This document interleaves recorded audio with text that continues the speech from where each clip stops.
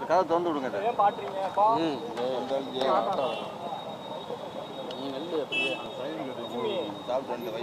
எடுங்க ரெக்கார்டிங் போடுங்க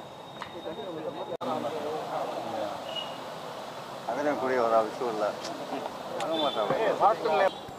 ஏற்கனவே ஒன் டுவெண்ட்டி ஃபோர் ஏ தேச துரோக குற்றச்சாட்டின் மீது அந்த உரையில் அவர் தமிழ்நாட்டை பற்றி சொல்லுகிறார்.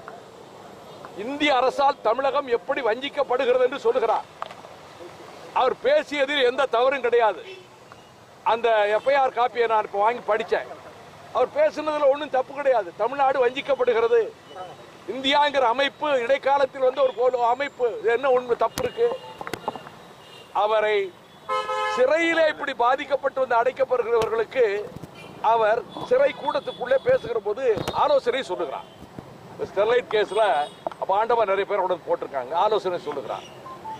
இந்த ஆலோசனை சொல்லுவதையும் தடுக்க வேண்டும் என்றுதான் இரவோடு இரவாக பாளையங்கோட்டை ஜெயிலிருந்து ஞாயிற்றுக்கிழமை மாற்றி இங்கே மதுரை சிறையில் கொண்டு வந்து அடைத்திருக்கிறார்.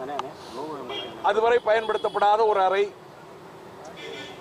திறந்த வெளி மலக்கிடங்கு இருக்கக்கூடிய இடத்துக்கு பக்கத்தில் இருக்கக்கூடிய அறை துர்நாற்றமும் கொசுக்கடியும் அவரை பாடாய்படுத்தியிருக்கு சட்டையை கழட்டி காட்டினாரு உடம்பு பூரா கொசுக்கடி புண்கள் இருக்கு.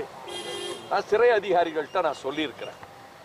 நீங்கள் அந்த அறையை விட்டு மாற்றுங்க கொஞ்சம் சுகாதாரமான இடத்துல வைங்க.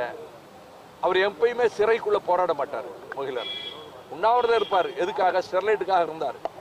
என் மீது பிஜேபிக்காரங்க ஸ்டெர்லைட் பிரச்சாரத்தில் தாக்குதல் நடத்தியதற்கே கண்டித்து உண்ணாவிரதம் இருந்தார். அவர் தொடர்ந்து ரெண்டு வருடம் இடிந்தகரையிலே இருந்தாருங்க. அவர் மனைவி பெயர் பூங்குடி.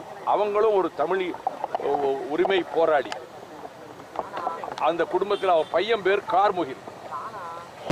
தமிழ்நாட்டிலே இப்படி தமிழக நன்மைக்கு போராடுகிறவர்களை நாதியற்றவர்கள் என்று அரசு கருதிவிட வேண்டாம்.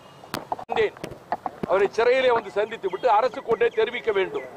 இப்படி தனித்தனியாக சிறையிலே அடைத்து கொடுமைப்படுத்துவதும் இந்த தமிழ் உரிமை அமைப்புகளை தடை செய்து விடலாம் என்று மத்திய அரசாங்கத்தினுடைய நோக்கத்துக்கு உடந்தையாக செயல்படுவதும் நெருப்போடு விளையாடுகிற விபரீத வேலையாகும். நான் தமிழக அரசாங்கத்துக்கு தெரிவிக்கிறேன். எட்டு வழி பாதை குறித்து மக்கள் கருத்துக்களை கேட்க செல்லுகிறவர்கள் மீது வழக்கு போட்டு சிறையில் அடைக்கிறார்கள்.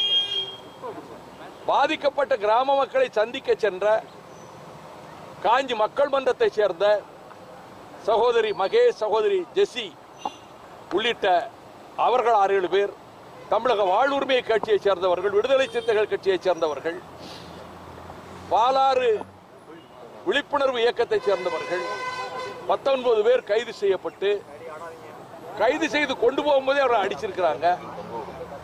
இப்பொழுது அவர்கள் மீது குண்டர் சட்டத்தை போடலாமா என்று யோசிப்பதாக தெரிகிறது.